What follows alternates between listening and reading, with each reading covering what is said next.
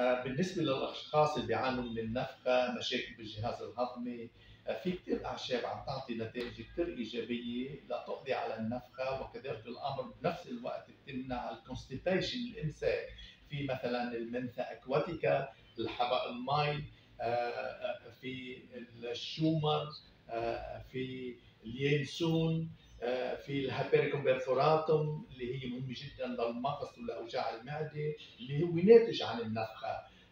في مثلا في أعشاب ثانية في ال Inula viscosa اللي هو الطيون اللي بتروح الالتهابات إذا كان في التهابات أو جرح بالجهاز الهضمي اللي كان بالمعدة أو كان بالأمعاء. وكل هاي الاعشاب مثلا موجودة ب product اسمها فلاتيلنس ريموفا وفي Digestive Aid كذلك الأمر هيدي عم يعطي نتائج كثير إيجابية ل آه، لمشاكل الجهاز الهضمي لحتى الأشخاص اللي بيعانوا من ال IBS ال irritable bowel syndrome اللي كان ال Crohn ال diverticulitis إلى آخره.